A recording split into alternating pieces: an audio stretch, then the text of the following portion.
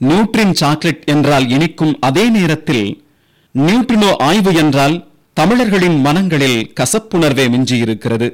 இது ஒருபுறம் இருந்தாலும் இந்த நியூட்ரினோ ஆய்வு திட்டம் குறித்து நாம் அறிந்து கொள்ள வேண்டியது மிகவும் அவசியம்.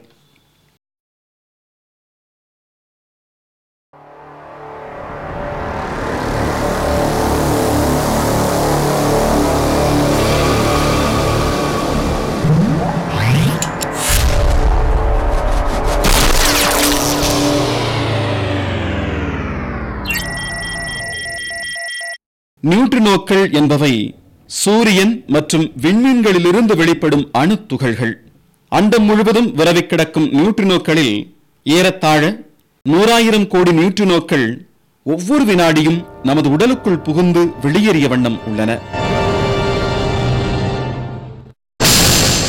அண்மை காலம் வரையில் நியூட்ரினோக்களும் ஒளித்துகள்களைப் போல எடையற்றவை என கருதப்பட்டன. ஆயிரத்து தொள்ளாயிரத்து தொன்னூற்றி எட்டாம் ஆண்டு நியூட்ரினோக்களுக்கு எடை உண்டு என்று கண்டுபிடிக்கப்பட்டது. கனமற்ற இத்துகள்கள் விண்வெளியிலிருந்து கீழிறங்குகின்றன. இவற்றை ஈர்த்து பிடித்து ஆய்வு செய்வது என்பது மிக மிக கடினம்.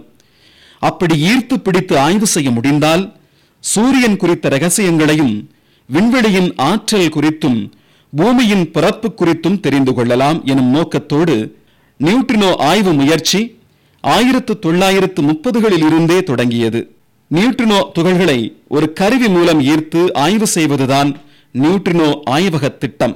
இந்தியாவில் முதன் முதலாக காஸ்மிக் கதிர்களில் இருந்து உருவாகும் நியூட்ரினோக்கள் கோலார் தங்க வயலில் ஆயிரத்து தொள்ளாயிரத்து அறுபத்தைந்தில் கண்டறியப்பட்டன. இச்சுரங்கம் மூடப்பட்டு விட்டதால் நியூட்ரினோ ஆராய்ச்சியை தொடர்ந்து நடத்துவதற்காக இந்திய அறிவியல் நியூட்ரினோ ஆய்வுக்கூடம் எனும் திட்டம் உருவாக்கப்பட்டது. இந்தியாவில் உள்ள பல அறிவியல் நிறுவனங்களும் பல்கலைக்கழகங்களும் இணைந்து இந்த பாதாள அறிவியல் கூடத்தை அமைக்க முன்வந்துள்ளன. நூற்றுக்கணக்கான விஞ்ஞானிகளும் பொறியாளர்களும் இந்த பணியில் ஈடுபட்டுள்ளனர்.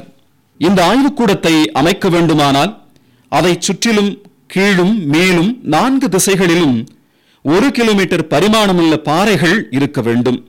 இவ்வளவு பெரிய பாறைகள் இருந்தால்தான் காஸ்மிக் கதிர்களை தடுத்து நிறுத்த முடியும். தற்போது தமிழகத்தில் தேனி மாவட்டம் பொட்டிபுரம் பகுதியில் உள்ள அம்பரப்பர் மலையில் நியூட்ரினோ ஆய்வுக்கூடம் அமைப்பதற்கான முயற்சிகள் எடுக்கப்பட்டு வருகின்றன. இதற்காக அறுபது ஏக்கர் நிலம் தேர்வு செய்யப்பட்டுள்ளது. அம்பரப்பர் மலையடிவார தரைத்தளத்திலிருந்து இரண்டு புள்ளி ஒரு கிலோமீட்டர் தொலைவுக்கு சுரங்கப்பாதை அமைப்பதற்கான பணிகள் நடைபெற்று வருகின்றன. அப்பாதையின் அகலம் ஏழரை மீட்டர் அகலமுடையதாக ஆங்கில எழுத்தான டி வடிவில் இருக்கும் என்று கூறப்படுகிறது.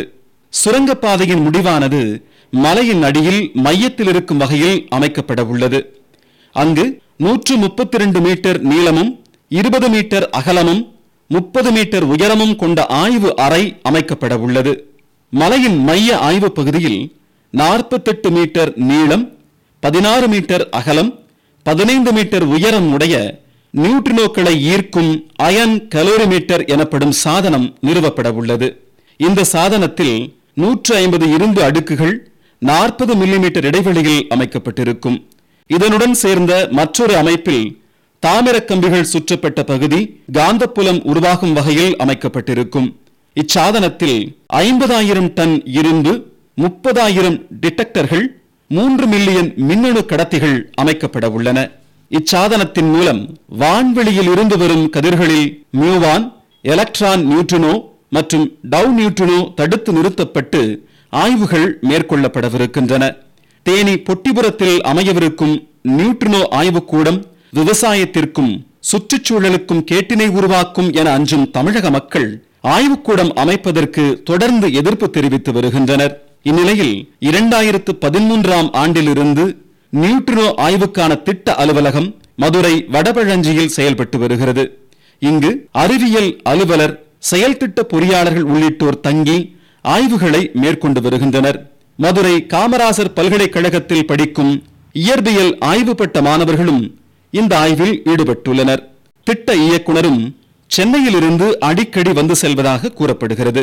இந்த அலுவலகத்தில் வைக்கப்பட்டுள்ள அயன் கலோரிமீட்டர் மாதிரி சாதனத்தில் நாள் ஒன்றுக்கு பத்து நியூவான் கதிர்கள் பதிவு செய்யப்பட்டு கணினியின் மூலம் கணக்கீடு செய்யப்பட்டு வருகிறது. இதனை நியூட்ரினோ ஆய்வின் தொடக்கமாக ஆராய்ச்சியாளர்கள் கருதுகின்றனர். நியூட்ரினோ ஆய்வுக்கூடத்தை பொறுத்தவரை மக்களின் வாழ்வாதாரம் முக்கியமா அறிவியல் சாதனை முக்கியமா என்ற கேள்விக்கு விடையளிக்க வேண்டிய பொறுப்பு ஆளும் அரசுகளுக்கு இருக்கிறது.